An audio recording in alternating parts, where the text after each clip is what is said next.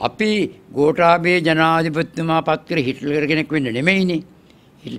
තිබිච්ච හිට්ලර් වාදය තුරන් කරලා සාමකාමී මහජන නියෝජිතයෙක් බවට පත් කරන අපි ඉතින් කවුරු හරි කියනවා නම් මෙයා හිට්ලර් කෙනෙක් වෙයිද කියලා ඒ කිව්ව පාඩියට එයාට තව තනතුරු දෙනවා නම් ඒක ඉතින් වැටත් නියරත් ගම් කානම් කාරණේ මෙයා මාරු කියන තමයි කියන්න තියෙන්නේ